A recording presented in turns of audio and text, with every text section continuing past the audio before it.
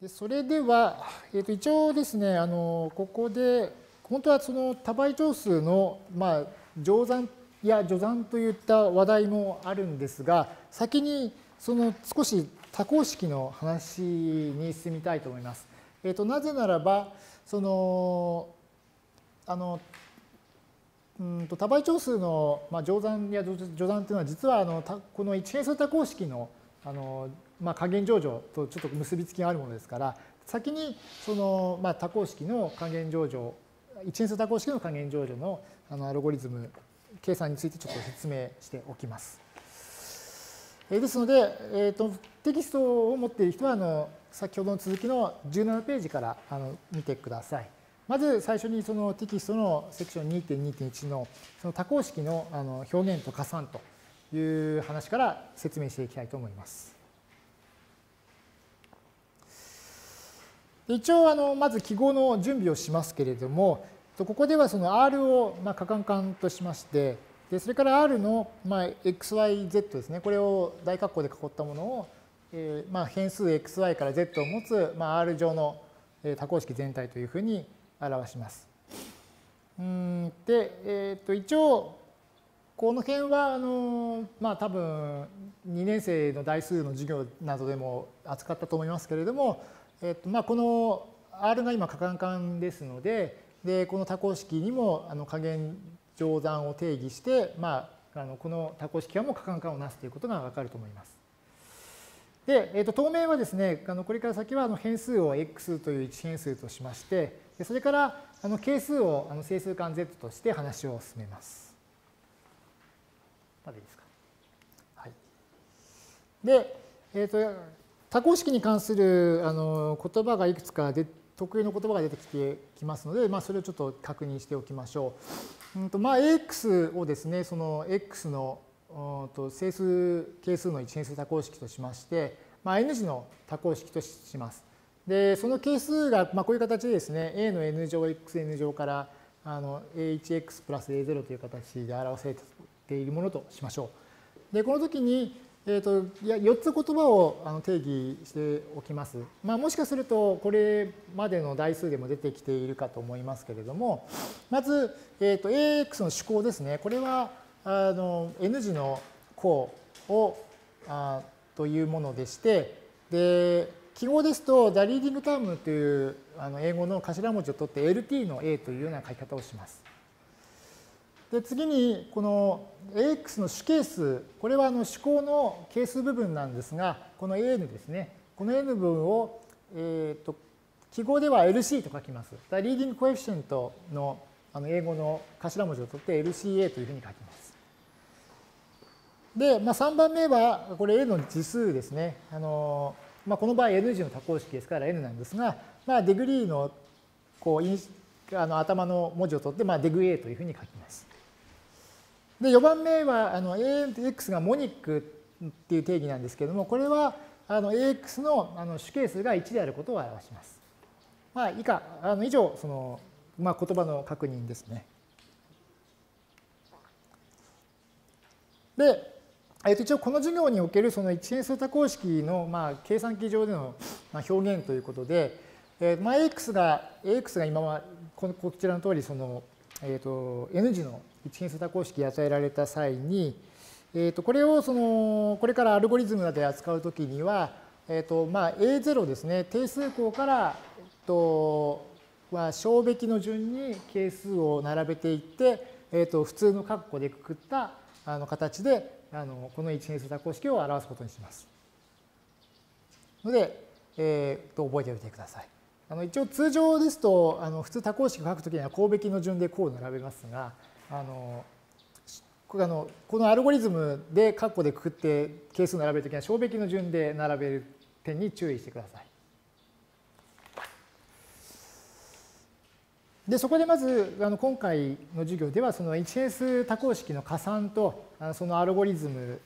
をあの考えてみます。あの示します。で今回その、まあ、一変数多項式の加算として取り上げるのはこうこういったものなんですけれどもえまあ、AX と BX というあの2つの一変数多項式がありますと。で、共に次数は刑事の多項式ですと。で、係数はそれぞれこのスライドにありますような形で表されているものとします。で、この ax と bx に対して、えー、この ax と bx の和となるこの cx ですね。cx をまあ計算したいということです。で、これを実際に求めるアルゴリズムをまあ書いてみましょうというわけです。で、うんとまああの今回はその最初最初というかまあうんと多項式扱う最初の方なんで、まあ、アルゴリズムの先に出してしまいましたけれども、まあ、アルゴリズムをどうやって作るかっていうのを皆さん考えたときにですねその大体、えー、と我々今までその、まあ、多項式をの加減上場を筆算でやったのは大体、まあ、中学か高校ぐらいからと思いますが、まあ、そこでやっているこう筆算をですねこう思い浮かべてもらえればいいんじゃないかと思います。でここにその一線素多項式の加算のアルゴリズムをあの書きましたけれどもうんと一応ちょっと先頭から見ていきましょう。えっと、入力としてはあの AX と BX という2つの多項式がありますと。で先ほど説明しましたようにあの多項式の係数をですねあの並べた括弧でくくった形で表しています。でまあ、出力として、まあ、CX を出力したいと。で、CX は AX と BX の和であるという形にします。で、あのでやってることは実質本質的にはこのステップ1だけなんですね。でこれ何やっているかっていうとあの i 4分で i が0から k まで動かしますのでその第その i 字の項の係数を加えなさいと。ax と bx の i 字のあの係数を加えてそれをあの CX の i 字の係数にしなさいということをやってるだけですね。ですので、えー、とそれは皆さん我々がその一変数多項式の加算を筆算で書こうと思ったときにこう AX の係数をバーッと書いて BX あ AX をバーッと書いて BX をバーッと書いてでそれであの定数項から順番にこう係数を加えて和を取ってあの書いていたのと全く同じことをやってるに過ぎません。で最後あの2番目のステップではそのえーと、得られた結果をですねこの並べて、まあ、CX を表すデータとしてこう返すということをやっております。ここまでいいでしょうか。で、まあ、アルゴリズムを考えましたら、あとあそうかでその前、それで、えー、と今はこういうアルゴリズムを示しましたけれども、一応何点かの注意があります。でえー、と今書きましたあのアルゴリズムはですねこう皆さん見てっ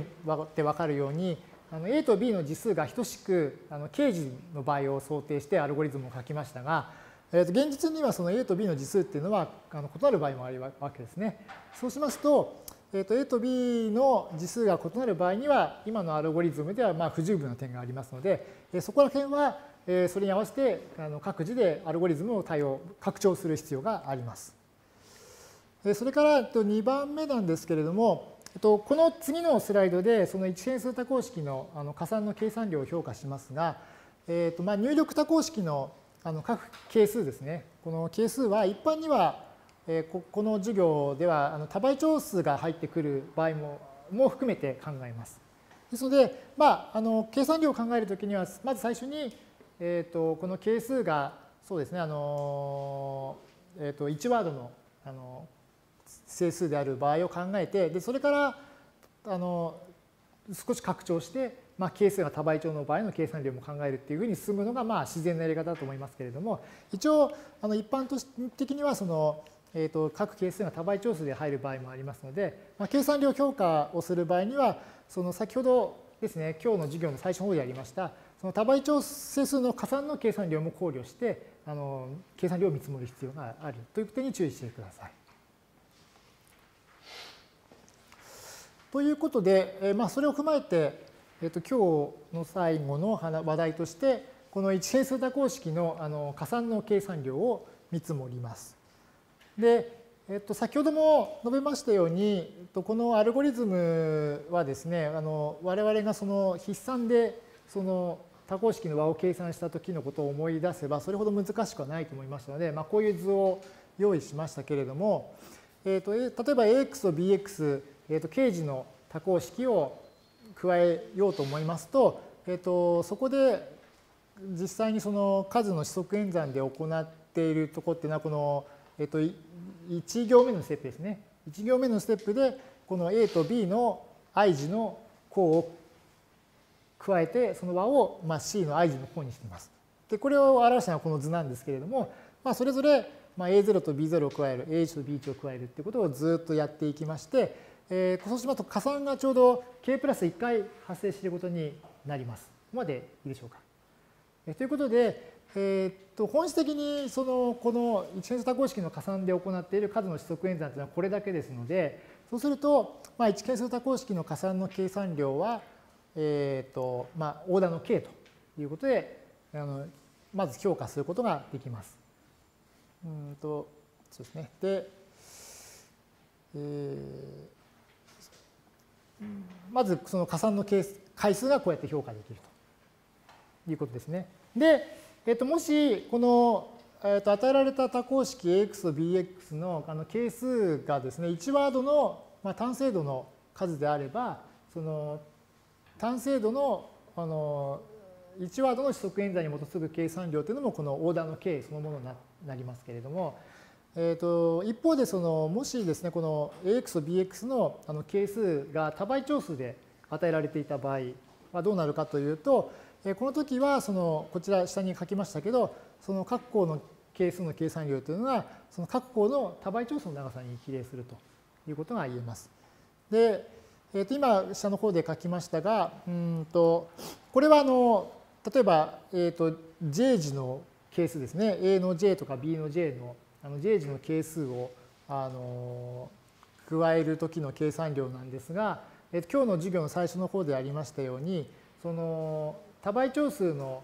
あの計算量っていうのはそのそれぞれの多倍与えられた2つの多倍長数の長さに比例するっていうことをやりました。ですので、えっと、例えば AJ の長さ BJ の長さっていうのはあの前回の授業でありましたように連の AJ とか連の BJ っていうふうに表しましたのであのワード数ですね。ですのでうんとでしかもその多倍長数の長さが、えーと、一応異なる場合も想定してうんと、まあ、この場合あの一応最大値を、えー、取りましたけれども、まあ、こういった形でその各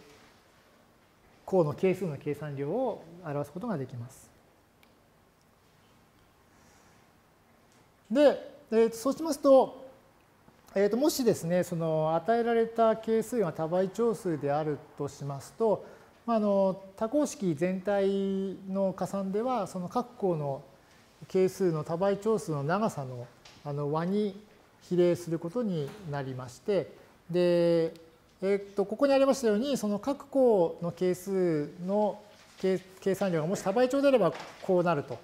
言っておりました。これを、えっと j があの0時から k 時まで繰り返しますから基本的にはこれを全部加えるっていう形になるわけですね。でこれがまあ一般的なその係数が多倍長数の場合のその一変数多項式の計算量の評価となります。でもし係数がすべて単精度、すなわち1ワードの数であれば、あの先ほども指摘しましたように、このオーダーの k ですね、計算量としてはオーダーの k ということで、えー、とこれは何言ってるかというと、あのもし係数がすべて単精度ならば、その多項式の、形状の多項式の加算の計算量というのは、その多項式の次数に比例すると。次数 k に比例するということが言えます。でそれからもう少し細かい話なんですけれども、えーと、係数が多倍長であっても例えばその係数の長さが全部同じで m ワードだったとしましょう。そうしますと、えー、このあのスライドの式の表現はもう少し簡単になりましてあのオーダーの mk という形になります。ですのでこのもし係数が全て長さ m ワードで形時の一変数多項式だったらばその加算の計算量というのが、えーと多項式の次数とそれから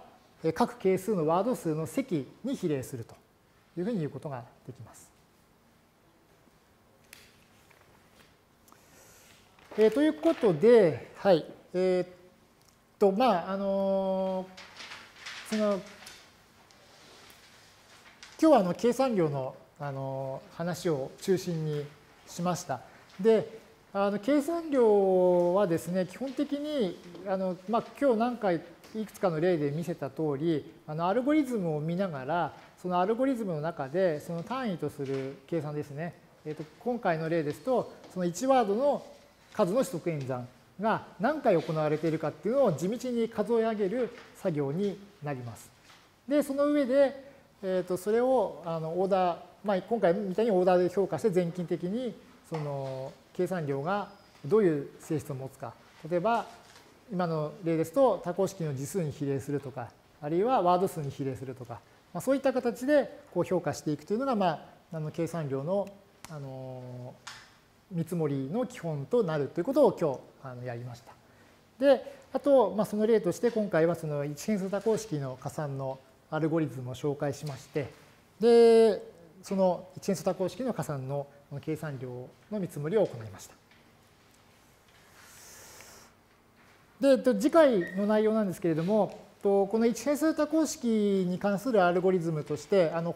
放難法という方法を紹介します。で、その放難方法の応用としまして、えーと、皮膚の整数の、まあ、2進数から10進数への変換、それから、えーと、小数や分数のあの2進数と10進数の間の変換といった話題について取り扱いたいと思います。ここまでよろしいでしょうか。